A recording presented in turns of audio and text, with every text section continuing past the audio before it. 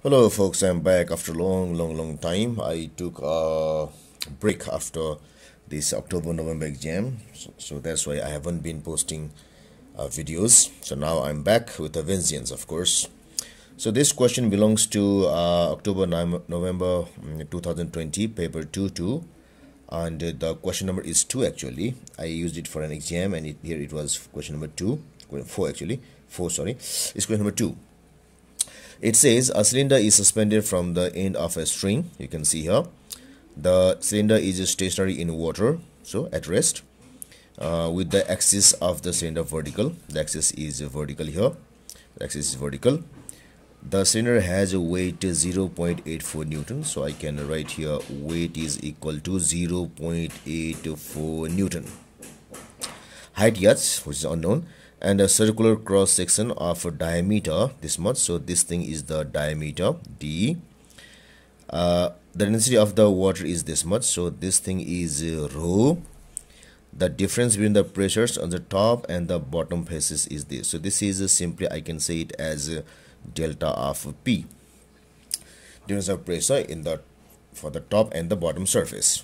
Now calculate the height h of the cylinder. So this should be related to the pressure as so delta p is equal to is equal to delta rho g and uh, and the difference in the uh, and the depth here depth difference here.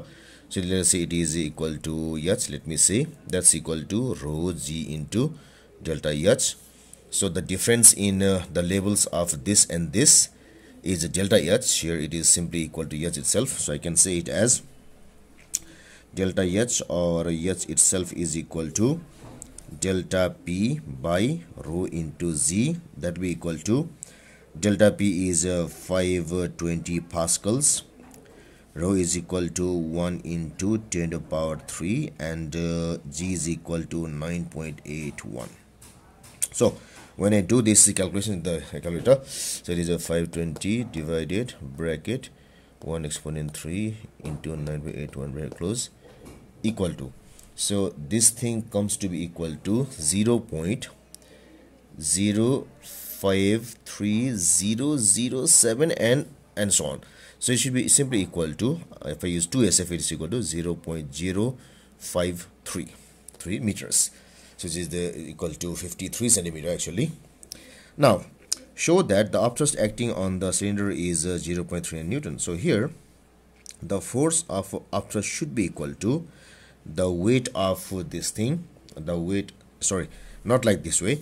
Uh, uh, we don't we don't know other forces yet so that's why we have to do it according to uh, it's equal to pressure difference pressure difference into the base area base area. So it will be equal to the pressure difference is uh, 520 into the base area is area of this thing so here is the diameter. So it should be equal to pi d square by 4 and equal to 520 into pi into uh, diameter is uh, 0 0.031 squared whole divided 4 equal to so it is uh, 520 into uh, shift pi into 0.031 squared whole by 4 equal to. So this thing comes to be equal to 0 0.3924 newtons. And it's nearly equal to 0 0.39 newtons as given by the as required by the question. So now then only comes the tension in the string. The tension in the string now will be equal to equal to so this is the cylinder here. Cylinder is here. We have the weight here weight and we have the we have the we have the we have the upthrust as well force of upthrust so it should be t should be equal to should be equal to resultant of these two things. So it is uh, weight minus uh, force of upthrust equal to the weight is uh, 0.84 newton 0.84 newton minus the upthrust is uh, 0.39 newtons. So this becomes equal to equal to uh, 4 9 it is a 5 here it is 4 so it is 0 0.45 newtons. So 0 0.45 newtons. This is the tensile force. Now so this till this uh, the topic was concerned with the chapter forces actually. Uh, it is about uh, uh, uh somewhat uh, concerned with Archimedes principle and so on. Now here it is now said that the string is now used to move the cylinder. So that means what we now do is this is string will be used to move the cylinder upward like this through the water. The variation with time t of the velocity v of the cylinder is shown in like this. So first the velocity increases uniformly till 2.5 seconds and then decreases uniformly till it is again zero.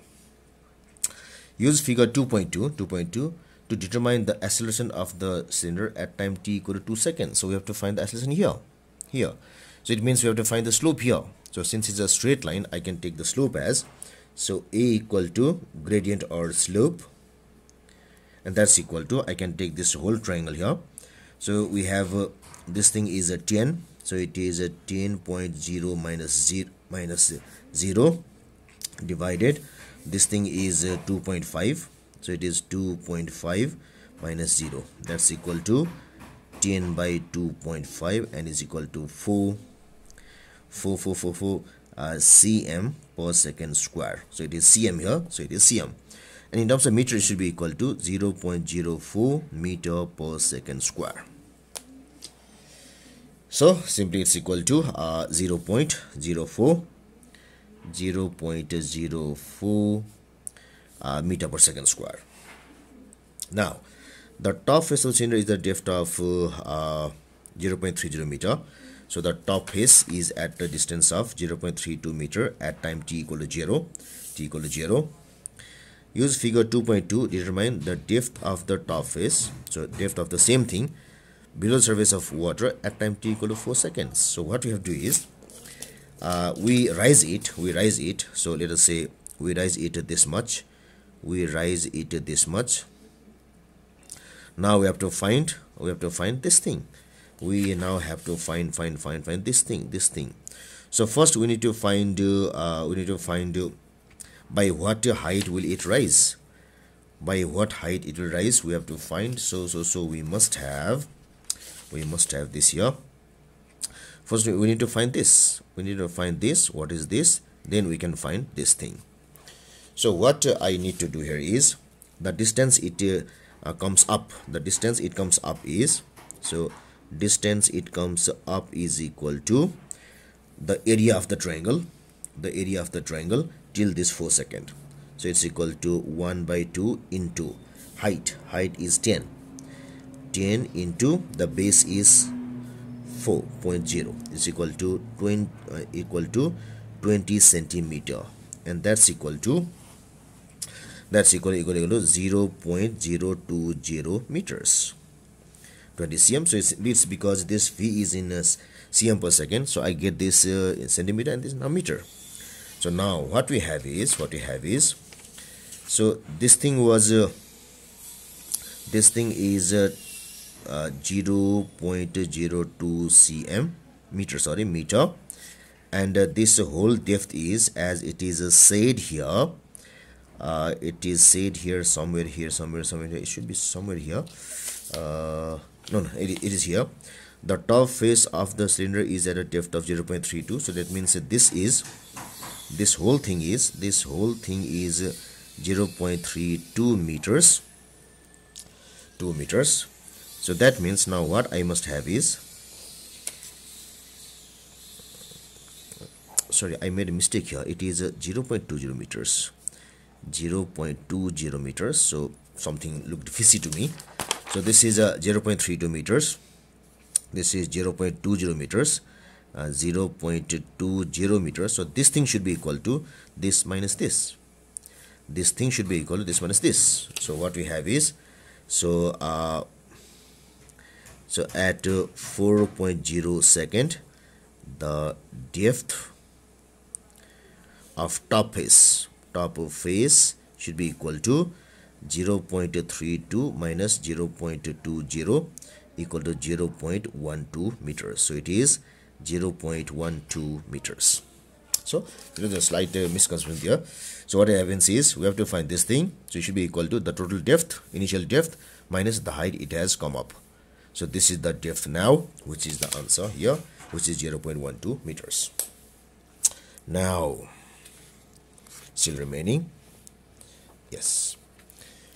The cylinder is raised from the released from the string at time t equal to 4 second.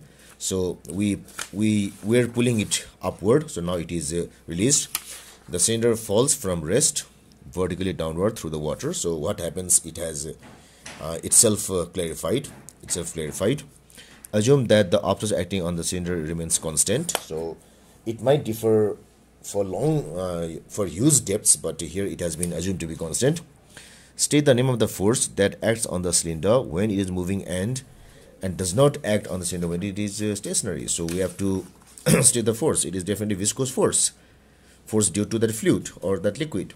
So this is the viscous force. It is something that uh, tries to block the motion of uh, the body it is uh, present only when there is motion and absent when there, there is no motion so Stan explain the variation, if any, of the acceleration of the cylinder as it falls uh, downward through the water. So what happens is, so uh, when it falls downward, V definitely increases, V increases, increases. This causes uh, this viscous force to increase. This causes the viscous force to increase. And what happens then is, then our F resultant there, which is equal to weight minus uh, F viscous minus uh, uh, so this thing. So this thing should be